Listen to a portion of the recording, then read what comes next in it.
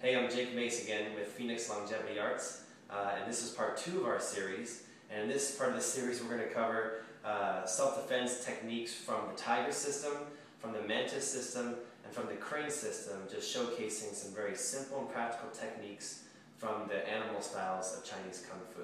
So for more information, visit us at phoenixlongevityarts.com, or please like our video and give us some great feedback.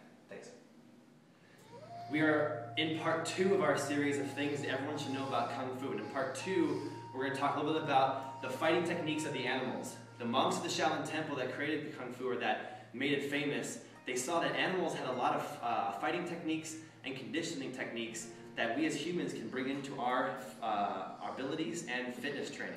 So these are the fighting techniques of tiger, mantis, and crane, just about one of each. So a combination that we can use for the tiger is if somebody like a boxer were to do a hook punch or like a nice right cross at you.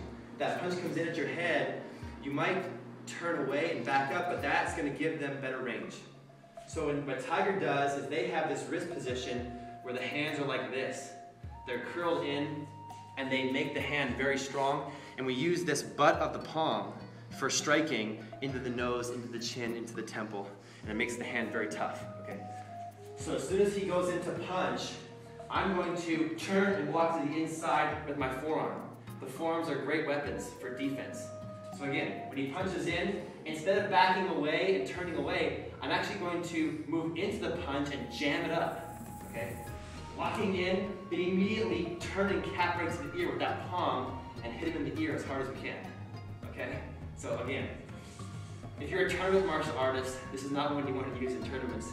They don't like the ear strikes. So again, block in, hit to the ear, and I'm gonna rotate, grab the hair, and try to just smash the face with the other hand. So once I hit, smash it like that and try to end the fight with one move. Okay? Again, they punch in, I block inside, hit to the ear, smash the face this way, and we try to create some separation and distance to get away. The next animal is the praying mantis, and the praying mantis it's known for uh, pressure point hitting. So one of the points we like to hit to is the stomach 9 pressure point in the hollows of the neck. There's one on this side and one on this side. So Google search stomach 9 pressure point, you'll see some information. So when somebody goes into hook punch, two combinations, right-left combo, okay?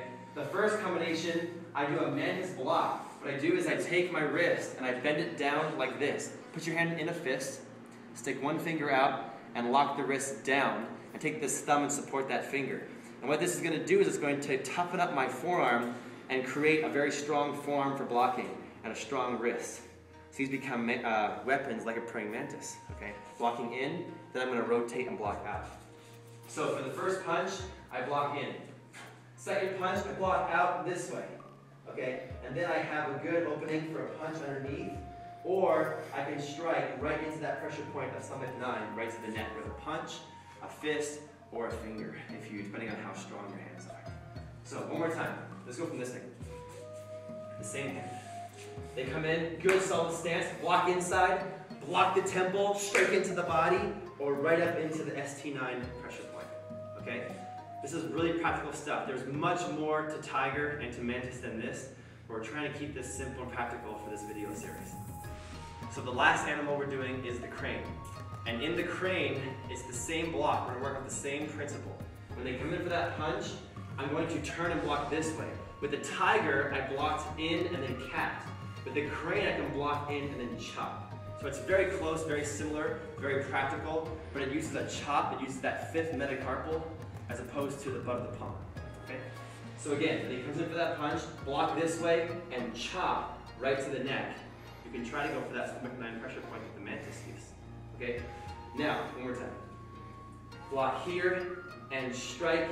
We may then try to grab onto a leg and press with the chest into the ground because we have a lot of rolling and groundwork in the crane that is very similar to a lot of wrestling. Even though a lot of people will say that it doesn't, it does.